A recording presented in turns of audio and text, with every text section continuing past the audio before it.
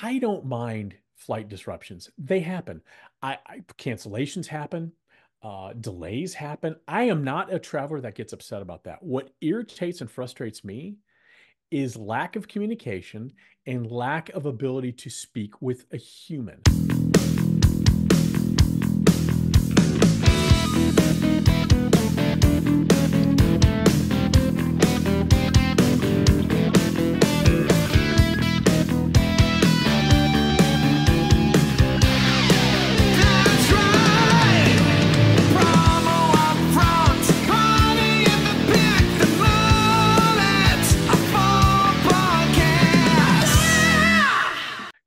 Gotta ignite the light and let it shine. Just own the night like the 4th of July. Kirby, you're a firework. Come on, show 'em what you're worth. And that is how we are going to horribly sing and start off episode number 209 of the Promo Upfront podcast. I am one of your hosts, Bill Petrie. With me, as always, it's the Field Marshal of the Firecracker, the Brigadier General of the Black Cat, the Rear Admiral of the Roman Candle, the Staff Sergeant of the Sparkler himself, the Mm, one and only Kirby that. Hasseman. Kirby! How the hell are you? Happy 4th of July. Happy Independence Day, my friend. Yeah, no, thank you. And that was a very aggressive. I mean, I was you really took on a, a, pretty difficult song there. So kudos yeah, to that was you. that was unfortunate for everybody. It's great. You did a great job. And you know, this is uh we're we're we're hitting that midway through the year, and so I get excited about that. And so things have been actually fairly busy here as we started off July, which I love. And so yeah, things are pretty good, buddy. And uh I'm super curious. Uh, It's good to see you again.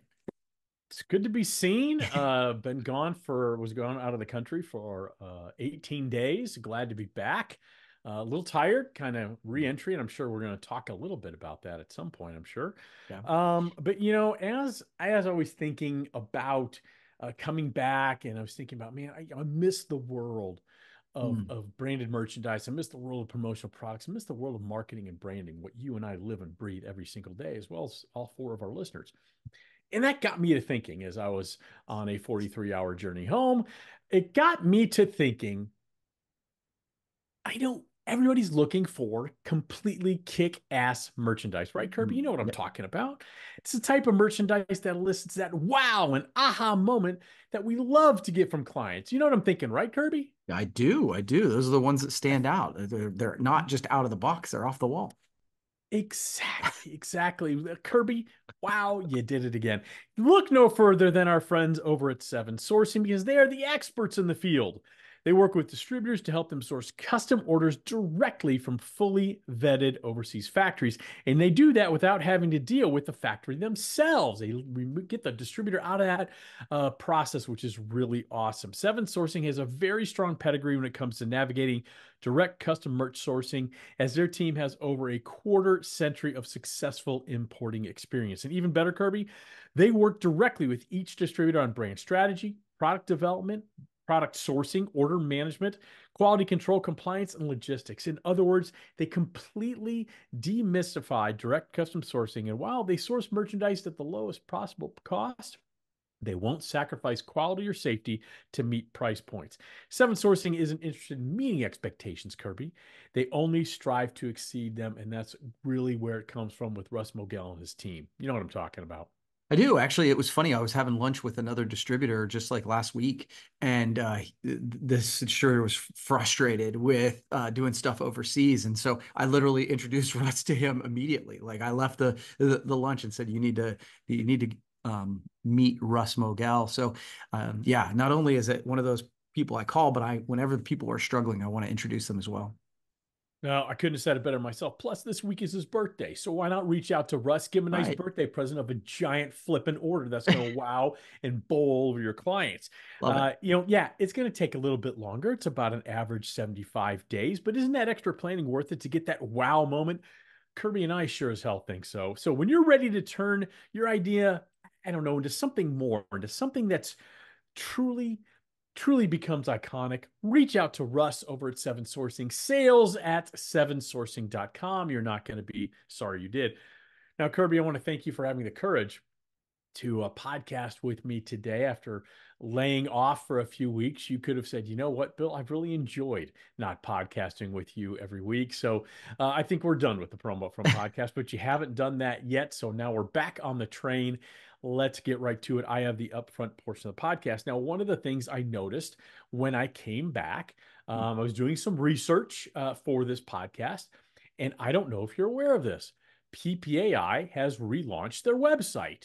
Have you Hmm. seen it? I have not. I have not. This is Okay. brand new information for me. Okay, so uh, you know it's uh, it's a huge upgrade, and for those of us who have used the PPAI PPAI website either for research purposes, for news gathering or news and information about the industry, or even just trying to find other services and things that are germane to the promotional products industry, it's it's a much better navigation. It's Mm. much easier to find something, and it has a really super clean look. Now, uh, I I I kind of possibly you know thought this might be coming for a while, but I think, and this is really what I want to talk about because you haven't seen the website. I don't I'm literally you looking at it right now. I like pulled Yeah, it up as you okay, told so me. you're looking at it right now. It's you can see it's new, it's refreshed, very Mhm. clean. They've done a hell of a good job, no question there. Uh, anything's been an upgrade over the, the previous site, which is a little clunky. Things were difficult Well, it's just and that older. happens with Yeah. websites from time to time.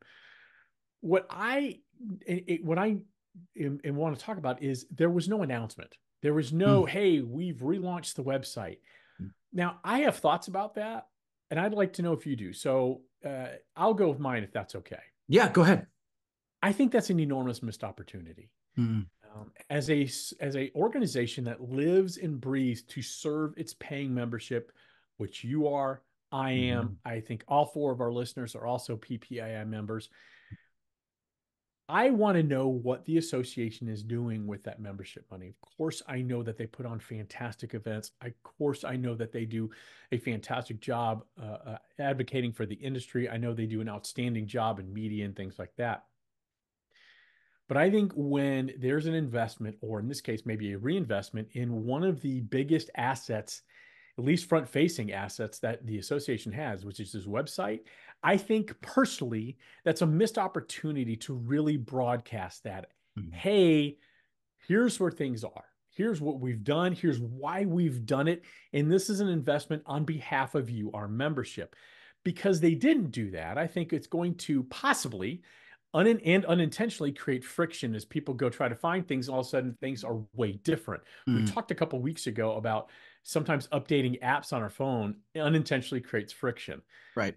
I think this is one of those possible po- uh, times where because membership wasn't informed by via email, by by social media post, by even an article, um, I think it creates friction because it's just change that's it feels forced as opposed to I'm part of it.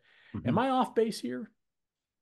The train's coming through, so I apologize for that. There's no no avoiding it. Um, Oh, I can keep talking. No, I, it's I- all right. I can keep talking. It's all right. So, um, what I would say is uh, uh, because I don't know, I have one question before I tell you my opinion. Yeah. When did it happen?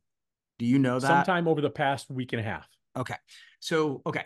So my only ca- caveat to this, because that was initially my thought. I was like, how did I not know about this Mhm. update? The Mhm. only caveat I'd give is, hey, we want to get it out there and make sure that it's not going to blow up. Like, it- like literally, I just launched a new website myself, right? And I made an announcement, and then I sent it out to somebody, and they're like, hey, it's not working. right? Like, so that happened yesterday for me. And so if they put it out there to go, okay, we're going to soft launch this and then make the announcement in a couple weeks, I, I at least understand because it is a big undertaking. Um, if that's not the case, then yes, I 100% agree. Probably not for the same reasons though. You're saying, hey, it's a um, you like it could create friction. For me, I think it's just a missed opportunity to tell about a positive thing that's Oh. going on. Like, uh, the, hey, Yeah. look at us being cutting Oh. edge. Look at us driving the conversation. So, so yes, I I think it is a missed opportunity. And but the good news is it's not gone forever. I mean, they can literally do this next week or whatever and make a big deal. So that was my main point: is the missed opportunity from Yeah. a. sh- We, we want to show you where your money is being invested. That Yeah. that's the main missed opportunity. The, there's a potential for friction. I don't think it's a huge one. Yeah. Um, where I will push back on you is I do think the moment's lost um, in, in a in a very big way. If you know, I understand. You know, th- things are never perfect. You and I've talked about things are never Mhm. perfect. I guarantee you that there was beta testing, there were people testing Sure. it. You know, you know when you build a website, you do everything you can to try to break it before you launch it. You know, and and you know, I've launched websites and I thought they were they were uh, you know ready to go, and something's broken on them, something doesn't work. That's not the user's fault. That's my fault. Mhm, Just sure. like with your website, you know, your your speaking website that you launched recently, you thought everything was good. You, I'm sure you had people internally over there at Hasseman Marketing check it, recheck it. People outside your company, hey, can you just look at this? Please. And you know, things happen. There's that's called human error, and that's okay.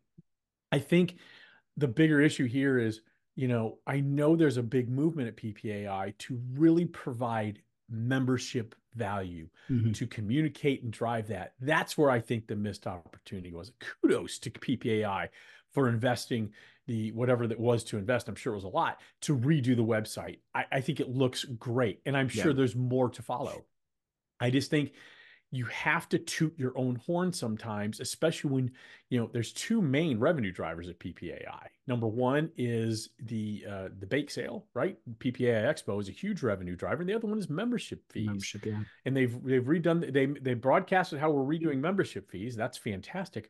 I really think it would have been in their best interests to broadcast this as well. I could be wrong. I've been wrong before, but I'm not wrong on this one. yeah, I don't think you're wrong on this one. The only, again, I think this is where we might have a little bit of a, is I don't think it's too late.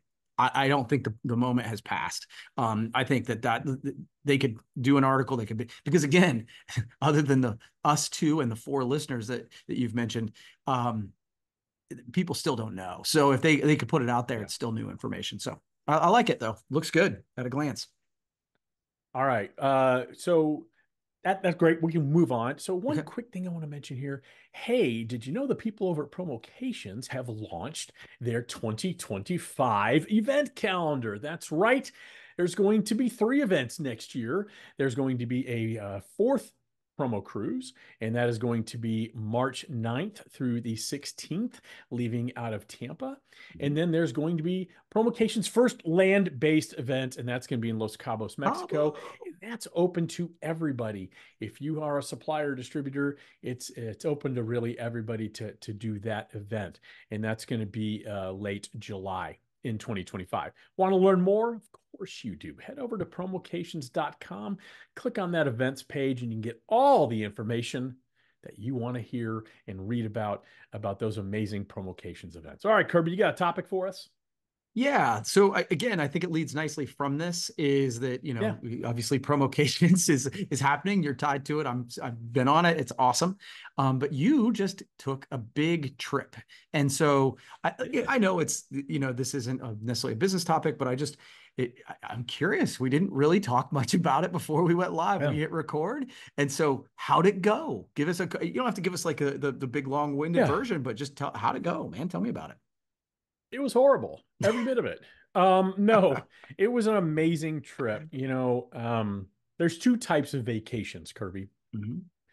There's the vacation where you, I am going to just do nothing. I'm Mhm. going to recharge. I'm going to relax. I'm going to just chill because Mhm. I need that. Yep. And then the other type of vacation is I'm going to run so ragged, can have a great time, but I'm going to need a vacation from my vacation when I get home. Yep. We did the latter. Yeah. But I'm okay with that. Um, so I'll go very briefly what it was. We uh, went on a uh, European trip, uh, Sandy and I, and then uh, met up with uh, several other couples uh, on the uh, uh, at the cruise ship. So we spent four days in Rome before we boarded our uh, celebrity cruise ship, which is one of the nicest experiences I've ever had. Yeah. Uh, it's it's like a floating resort, much nicer than. Now, there's nothing wrong with a Carnival Royal Caribbean, but it's definitely uh, an upgrade. and then from there, we went um, to Naples, Santorini, the Amalfi Coast, all through Greece, Athens, Mykonos. Um, we hit uh, Turkey, we hit Malta on the way home, and uh, then we spent a couple days in Barcelona.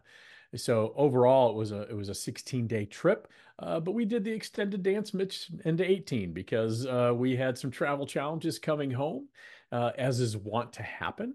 Yeah. Uh, but it was a fantastic trip, and it was one of those trips, Kirby, where you know, those type of trips where you end up meeting with other couples on, you know, it can go one of two ways. One is, man, I this was not a great idea. Mhm. You know, it's fun, but I've had enough and I need distance. Yep. Been on those. This one went the other. This one went. The, I've been on those too, and this Mm. one absolutely went the other way. Uh, lifelong friendships were absolutely forged on Mm. the way on there. There, it was. It was amazing. I every day was better than the day before. Wow. Um, I, I, it was the most life affirming vacation I think I've ever had, and I think Sandy would would say the same. And I haven't laughed that hard, that consistently for that long. I don't think ever.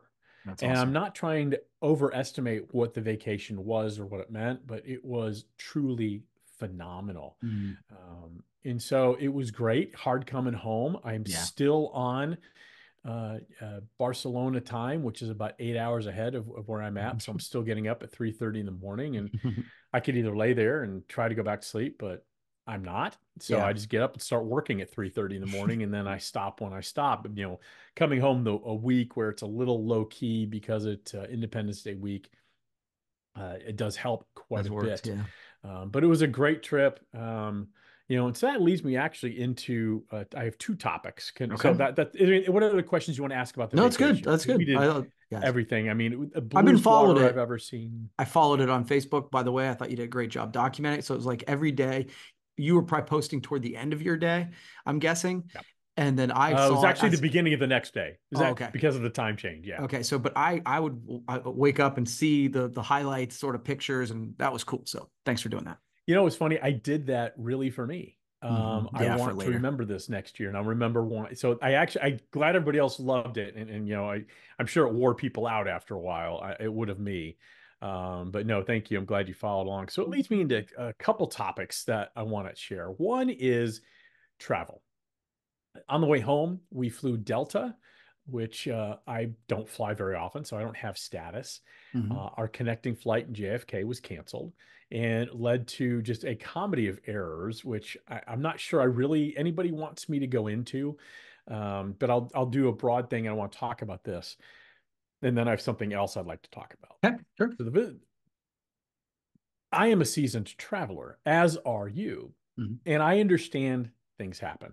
So when we landed in uh, at JFK from Barcelona, got a message your connecting flight has been canceled, and I was automatically rebooked on a flight the following day Mm, on. Monday. I, I Wow. landed at noon at JFK on Sunday, so uh, we were rebooked on a flight Monday, flying to Austin and overlay uh, and, and I had a layover for four and a half hours and then fly to Nashville, which is ridiculous, right? I mean, that makes Yeah, you no could drive it. You could drive it in that amount of time.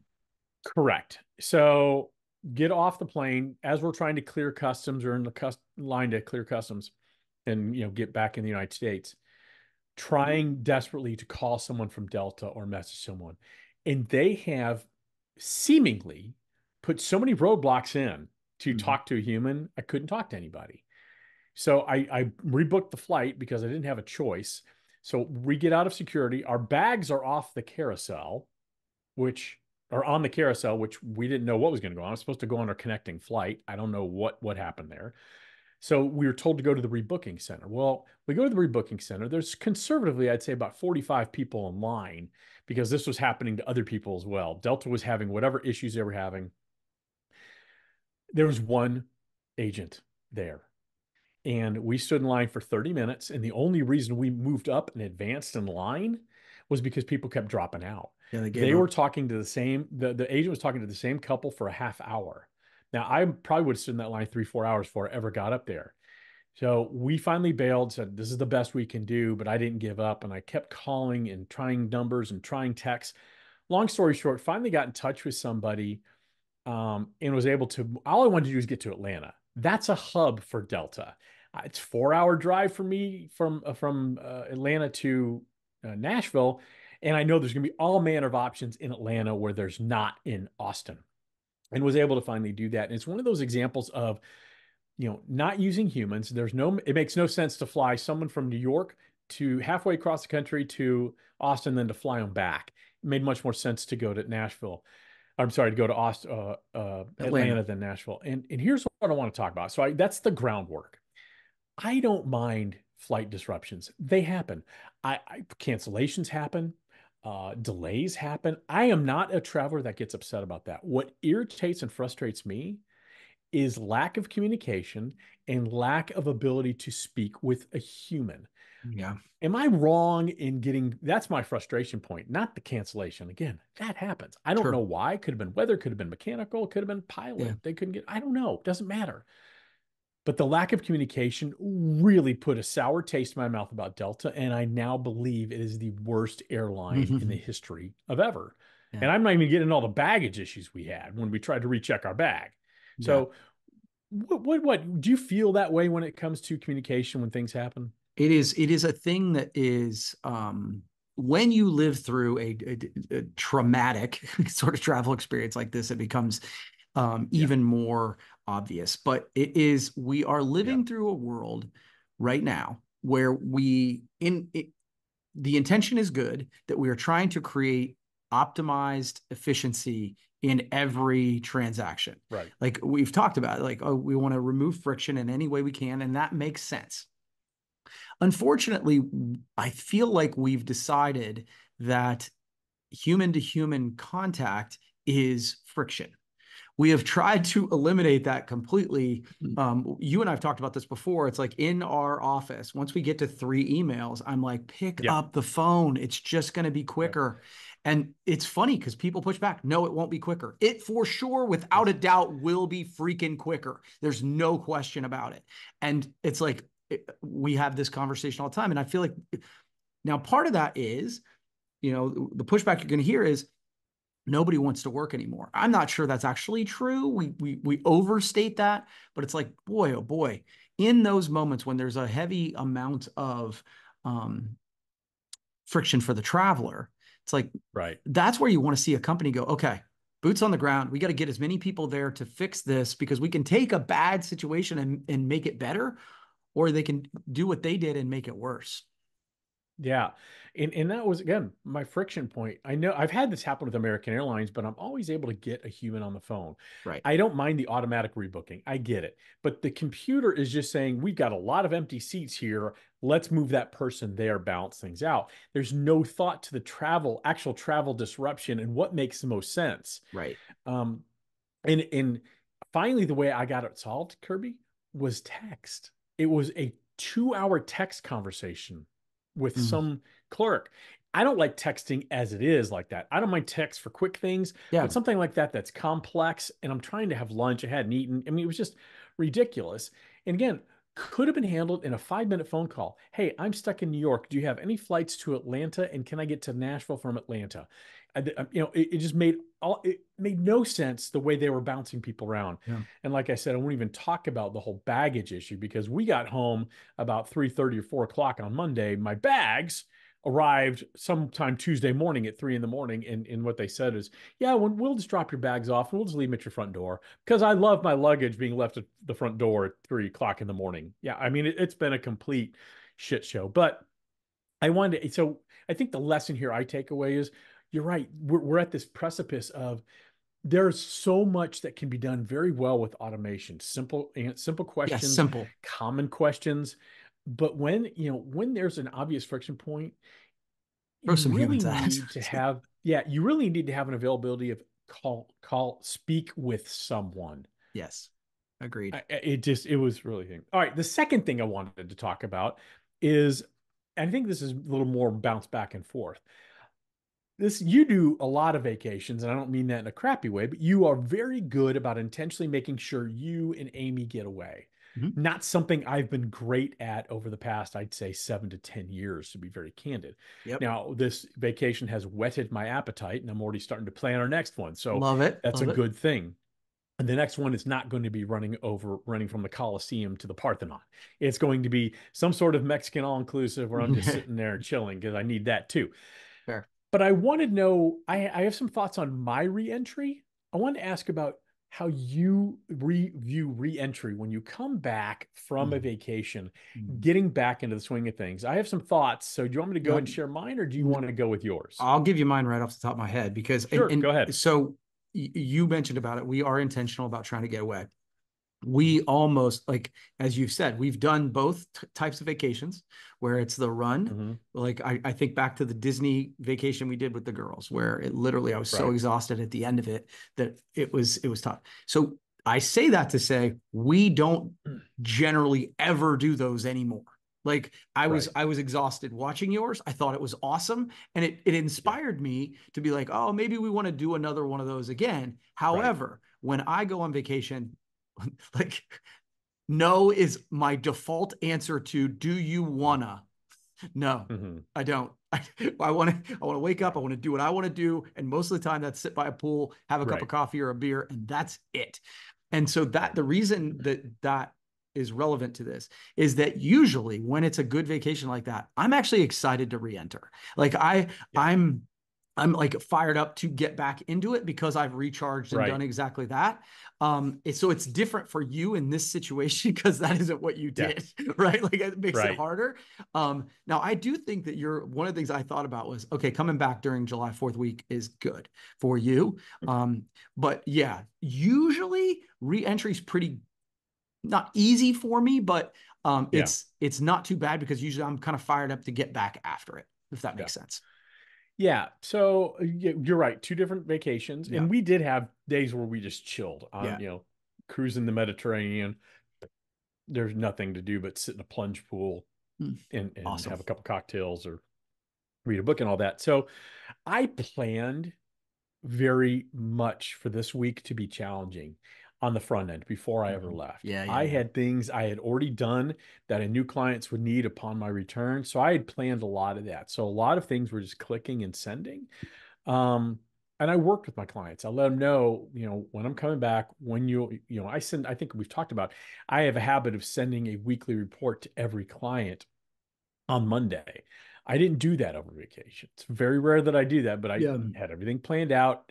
Oh, I, I could not over communicate. So that helped.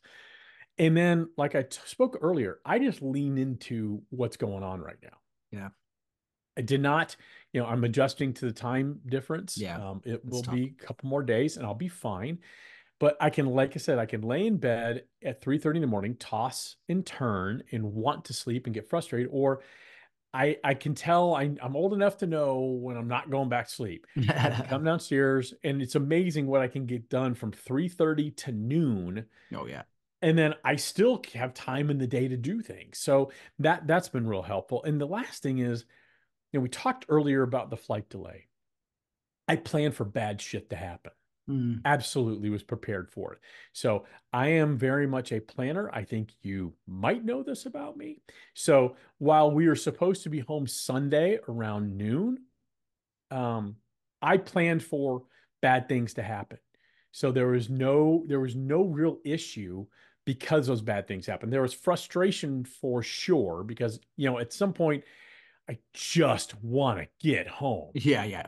And I know you've been there too 100%. but it wasn't i didn't compound that by holy crap i didn't plan and now because i'm not home my Yeah. clients are going to suffer or my business is going to suffer or i've in, added increased stress so i also looked forward to coming back just because okay that was a great trip i'm ready for my routine again Yeah, yeah, I, I I am.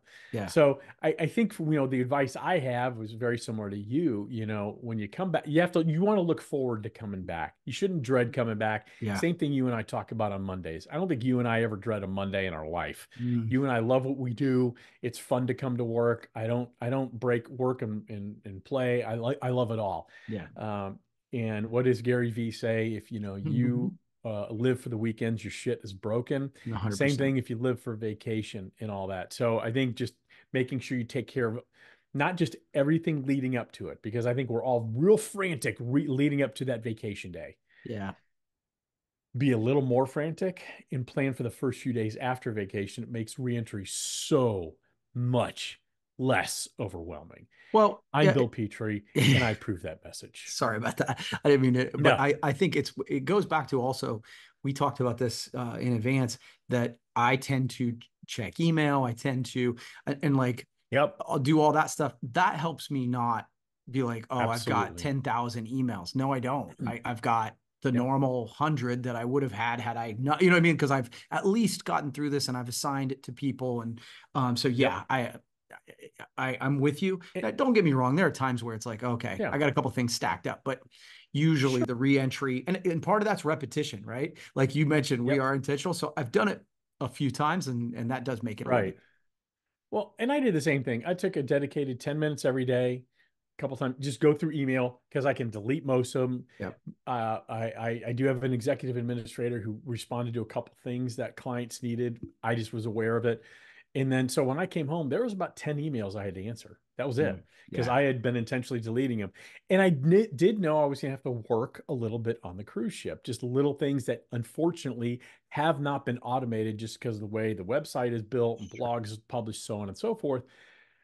But I just upgraded my internet, not because I want super fast internet all the time, because I knew I had to work. I wanted to get in and Get it get out. yeah, and I that. never worked more than 20 minutes during the course of each of the two weeks I was gone. That's I mean, it- awesome. so I really was able to unplug. So uh, it is being intentional. So uh, probably a little too vacation heavy on this podcast, but uh, that's too bad. we're talking. we're um, talking about what's going on in our lives, brother. It's good. That's right.